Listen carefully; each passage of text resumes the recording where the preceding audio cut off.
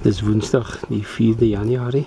Ek is by Bosdrift waar vanoggend drie nuwe leeu's aangekom het. Hier is twee van hulle wat met die draad lê. Hulle is in 'n kamp, 'n klein kampie losgelaat vanoggend. Die derde een lê daar agter 'n bos. En hulle probeer nou om te kyk of die twee leeu's nie na die ander een toe sou gaan nie.